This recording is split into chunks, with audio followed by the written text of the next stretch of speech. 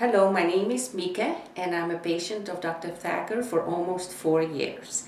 Um, I've dealt all my life with quite a bit of medical situations and I've lived all over the world and I've never had a doctor who cares so much and who is so diligent, supportive and kind at the same time and on top of that extremely knowledgeable. So it's actually always a pleasure to come and see Dr. Thacker and I hope she remains my doctor till the end of days. Thank you.